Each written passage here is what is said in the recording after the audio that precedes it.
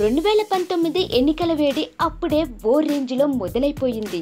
ఇప్పటి నుంచే ఒక్కొక్కరుగా పొలిటికల్గా యాక్టివ్ అవుతున్నారు. ఇందులో స్టార్లు సెలబ్రిటీలు ఉన్నారు. ఇప్పటికే జనసేన అధ్యక్షుడు పవన్ కళ్యాణ్ రెండు వేల పంతొమ్మిది ఎన్నికల్లో తమ పార్టీ పోటీ చేస్తుందంటూ హీట్ రెట్టింపు చేశారు. ఇదే అదునుగా రాజకీయాల్లోకి ఎంట్రీ ఇచ్చే సెలబ్రిటీలంతా ఒక్కొక్కరుగా తమ ఆశల్ని అవకాశాల్ని బయటికి చెబుతున్నారు. లేటెస్ట్గా సీనియర్ నటుడు సుమన్ బరిలోకి వచ్చాడు.